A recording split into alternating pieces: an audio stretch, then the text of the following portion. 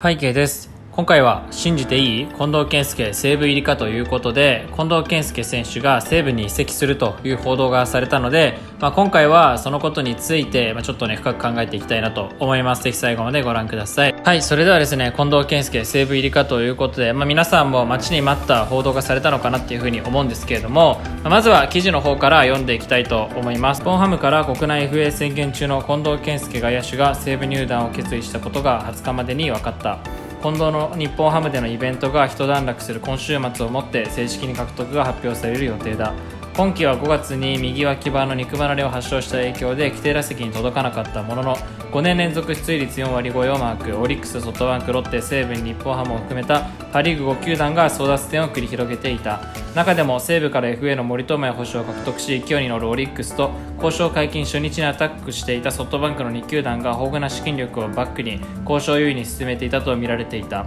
風向きが変わったのは森のオリックス移籍が決まった16日。西武はこの日近藤と初交渉に臨み松井一夫監督が直接出馬した。松井監督の現役時代から親交があり少年時代から西武ファンだった近藤は指揮官とのサプライズの対面に感激の様子だったという。松井監督は今年もよくグラウンドで話した野球への取り組み方だったり姿勢だったり常に向上心を持ってやっていく姿を話していても感じますし本当にすごい。そういう考えがあるんだというのは僕らの勉強になると高く評価。球団が動いてくれるというのは非常に大きいあれだけの選手ですから来てほしい。その時が来たらしっかり思いを伝えたいと明かしていた近藤は千葉出身で関東で長期契約でのプレーを希望しているとの意向を西武はキャッチ。森の残留へ用意していた6年総額24億円規模の条件をそのまま近藤に転用した形だ。西武の FA 獲得は2016年にテスト生から加入の木村翔吾内野手以来4人目。FA 選手は出ていかれる一方だったが初めて西武に憧れていた選手が入団することになる。ということでですね、まあ、近藤健介選手が西武に移籍するといった報道がされました。はいそれではですね今話した記事の内容から簡単にまとめていきたいと思います。まずですね近藤健介選手、まあ、FA 権を行使して、まあ、どこに移籍するのかってことがすごい注目をされていて、まあ、パ・リーグ5球団による争奪戦が行われていたんですけども西武へ移籍をするということになりました。で、えー、と憧れでもあり親交のある松井一夫監督の直接出馬が、まあ、西武移籍の決め手となったと記事には書かれています。ソフトバンクとオリックスが交渉有利に進めていたんですけれども、まあ、森選手のオリックス移籍が決まったことによって西武が、ね、森選手の引き止めに使うはずの資金を近藤選手に転用したということで、まあ、西武の方もねオリックスとソフトバンクと、ま、引けを取らない、まあ、資金を用意することができてえその結果、まあ、近藤選手がね関東でプレーすることだったりとかえそういった部分でも折り合いがついてえ西武に移籍することになったというふうにこの記事には書かれていました。記事の内容は、まあ、こんな感じになるんですけれども、まあ、割とねこの記事の内容自体は、まあ、そんなね変なことは書いてないのかなっていうふうに思います、まあ、確かに森選手が、えー移籍が決まった日と、まあ、近藤選手が西武と交渉した日っていうのは同じ日ですので、まあ、辻褄合いますよね。森選手の引き止めがもう無理になったから、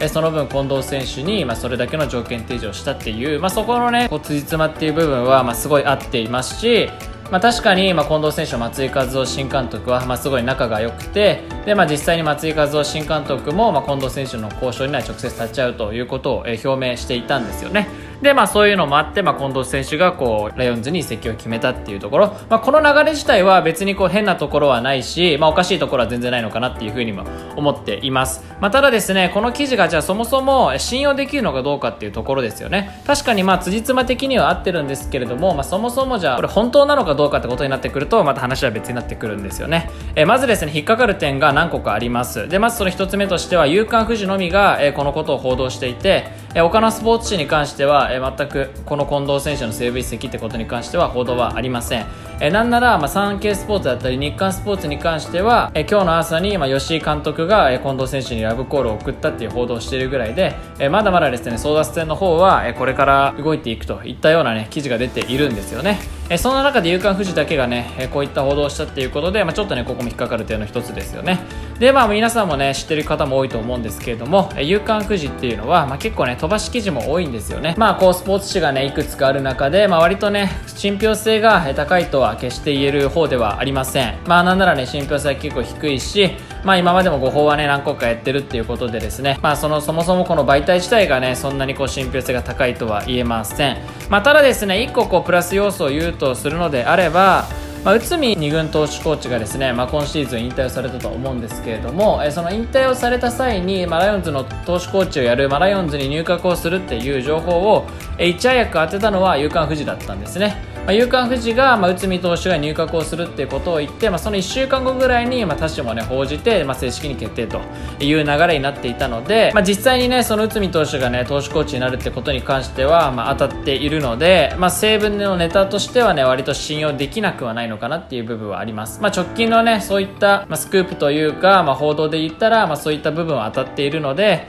まあ、ここもね、全く信用できないかというと、まあ、決してそういうわけではないのかなというところです。じゃあまあ実際にこの記事が本当なのかどうか信じていいのかどうかってことについて、まあ、ちょっとね僕自身の見解を簡単に話していきたいかなっていうふうに思うんですけれども、まあ、まずですね今回の近藤選手のこの FA ですよね、まあ、争奪戦行われているんですけれども、まあ、僕がね一番思うところはとにかく情報がないなっていうふうに思っています、まあ、隠密というふうに書いたんですけれども、まあ、ほとんどねこう情報が表に出ることがないんですよね。え交渉に関してもえソフトバンク以外はほとんどね報じられることがなくて、まあ、ソフトバンクはねもうすごい条件だったりとか、まあ、あと監督のコメントだったりとかえそういったところまで詳しく出ているんですけれども、まあ、オリックス、西武に関しては、まあ、条件と交渉したっていう事実のみ。でロッテに関しては、まあ、交渉、ね、したっていうこと。しかも、まあ、ロッテに関してはさらに、まあ、いつ交渉したのかっていうところもえ全く分かっていないんですよね。であとは近藤選手側ですよね。近藤選手側のコメントっていうのも、まあ、全くない状態になっていて、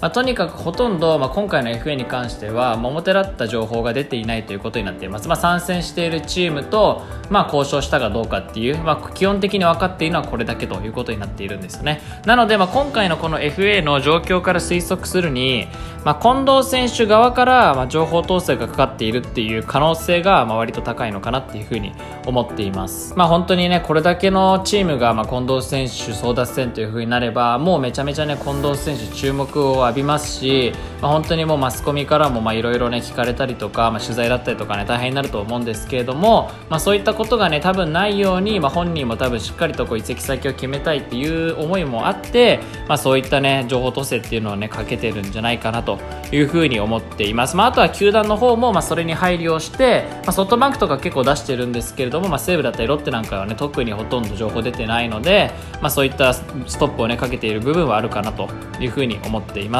で今回のスクープに関しても、え、近藤選手側は、まあ、おそらく今週明けですね。23日に、ファン感謝祭そして26日にトークイベントがあるということですので、まあ、そのトークイベント明け、まあ、あるいは早くても、まあ、ファン感謝祭明けの、まあ、どちらかに報道するように、まあ、要求していたんじゃないかなというふうに思います、まあ、これは夕刊婦人に限らず大手、まあ、日刊だったりとかスポーツウォッチスポニチ、まあ、トースポっていったあたりがありますけれども、まあ、これらのスポーツ紙に関しても、まあ、おそらく近藤選手側からから、えー、イベントが終わるまででは報じるのはちょっとやめといてほしいといった要望をしていたんじゃないかなというふうに思っています。まあ、ただですね、夕刊富士だけが、まあ、それを先走って、まあ、その近藤選手の意向を無視して、報道したっていう説が、まあ、割と高いのかなというふうに僕は思っているんですね。まあ、夕刊富士って正直、まあ、そういったこうモラル的な部分は、まあ、割と無視してや報じるっていう傾向は、まあ、十分ありますし、まあ、近藤選手側からこうストップがかかっていたとしても、まあ、強行でもう先走ったっていう可能性は十分考えられると思っています。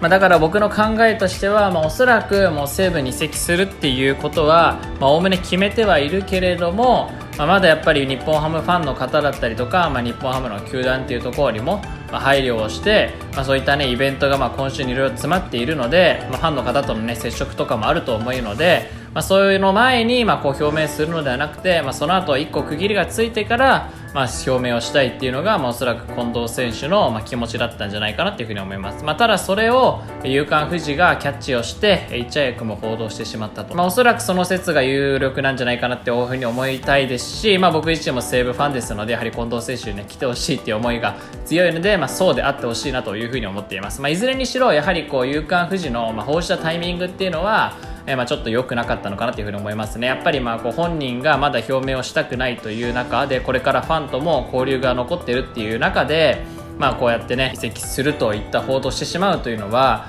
やはりね今後近藤選手がまあファンの方と交流する上でもまあすごい、ね、やりにくいなっていうふうにも思いますしファンの方もファンの方でどういったねこう対応だったりとか反応すればいいのかっていうところにねすごい困ってしまうと思うんですよね。なのでやっぱいずれにしろ、まあ、せめて報じるにしても、まあ、ファン感謝祭が終わった後とか、まあ、何かしらねファンの方と交流があった後にやっぱやるべきだったんじゃないかなというふうに思っています、まあ、ちょっとこのタイミングについては、まあ、良くなかったなというふうに思っています。まあ、いずれにしろですね、まあ、おそらくですが結末はもう今週中には、えー、分かるんじゃないかなっていうふうに思っています、まあ、先ほども言ったように今週の水曜日にファン感謝祭そして、まあ、土曜日にトークショーということで、まあ、イベントがねすごい目白押しで控えておりますのでまあ、ファンカンの後か、まあ、あるいは、ね、トークショーの後か、まあ、それか週明けか、え何かしらの情報だったりとか、もう去就っていうところが、ね、本格的に決まってくるのは、え間違いないんじゃないかなというふうに思っています。まあ、近藤選手が FA 宣言をしてからもう2週間経ちますし、え各球団ももう1回交渉したということですので、まあ、間違いなく、え今週中にはもう決まるんじゃないかというふうに思っています。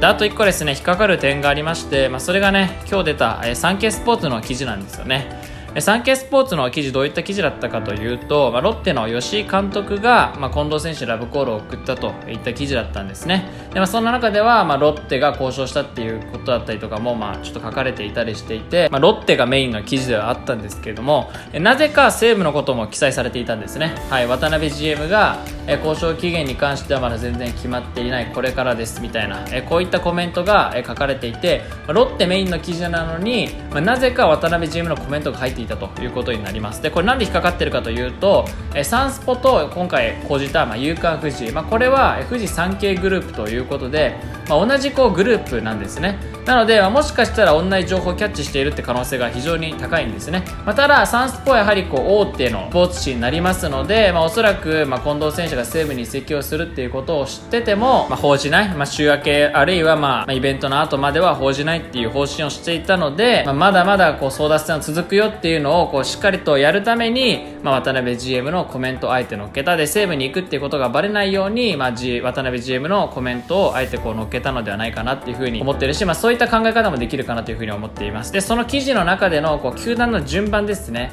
まあ、今までは、まあ、結構ソフトバンク、オリックス、西武が争奪戦に乗り出しているっていう書き方は結構されることが多くて、まあ、ソフトバンクとかオリックスが結構こう最初の方に名前が出ることが多かったんですけれどもえこの記事では西武、オリックス、ソフトバンクといった順番で西武が一番最初にこう名前が出てきていたんですね、まあ、ここの、ね、順番がどれだけ関係しているのかというところは分かんないですけれどもまあ、割とその西武っていうのが、まあ、結構こう報じ方を見ても、まあ、有力になってきている部分があるのかなというふうには思っています、まあ、実際ねちょっとこれは考えすぎかもしれないし、まあ、もしかしたらねちょっと全然違う、まあ、ちょっと僕自身の希望的観測も入っている部分もあるかもしれないんですけれども、えまあ、こういったねもしかしたら考え方捉え方もできるかなというふうに思っています、まあ、いずれにしろ本当にもうすぐ、えー、表明っていうのは出ると思いますのでまあ、ちょっとね今週中か、まあ、あるいは週明けか分かんないですけれども、まあ、実際にどうなっていくのか、まあ、西武ファンにとっては本当に千載一遇のチャンスだと思いますので、まあ、切符を待ちたいなと思いますぜひ皆さんの考え意見もお聞かせいただけると嬉しいです